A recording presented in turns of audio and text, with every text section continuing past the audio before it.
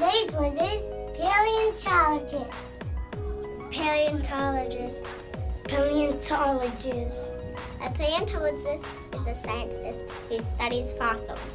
Paleontologist. Paleontologist. Dinosaur bones. I need to call the paleontologist. Paleontologist. Paleontologist. Paleontologist.